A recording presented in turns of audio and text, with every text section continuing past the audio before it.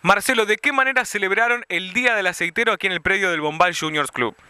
Con distintos, distintos eventos, bueno, pasamos un día espectacular, ya estamos a punto de culminar ese, este festejo, pero realmente pasamos un día espectacular. ¿Cuántos trabajadores aproximadamente se reunieron para almorzar y qué almorzaron?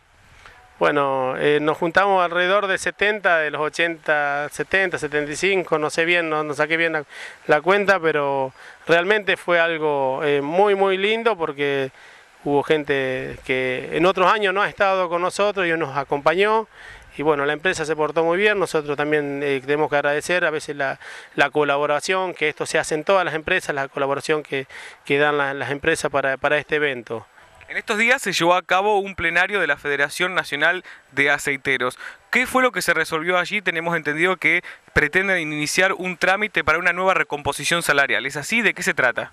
Eh, hemos llevado a cabo un plenario delegado de base que es, eh, eh, bueno, fue, fue muy fructífero para, todos los trabajadores de aceiteros y desmotadores también han participado de ese plenario porque fue por diversos motivos, no tan solo por la, parte salarial. Si bien nosotros eh, el día viernes ya hemos presentado a la Cámara de la Industria Aceitera un, nuevo pedido de aumento que salió de ese plenario en Verazategui el día 19, eh, se, hace un nuevo pedido, un 25% de aumento para, para todos los trabajadores, bueno, de acuerdo a, a su categoría. Y un sueldo eh, anual complementario que vendría a ser el sueldo 14 de alrededor de bueno de acuerdo a su categoría recibiría un sueldo un sueldo más.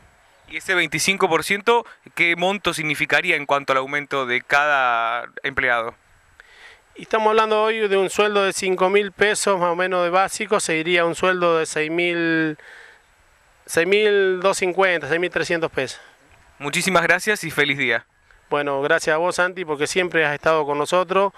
Y bueno, desde ya eh, quiero saludar a, todos los trabajadores que estuvieron presentes hoy y a esta comisión que, que hoy me acompaña, que a veces tenemos, bueno, dificultades, pero vamos para adelante, vamos, vamos trabajando para adelante y para todos los trabajadores y para el pueblo de Bombal, que, que esto vuelve al pueblo, siempre lo digo y no me voy a cansar de decirlo, todo lo que nosotros cosechamos lo dejamos en este pueblo.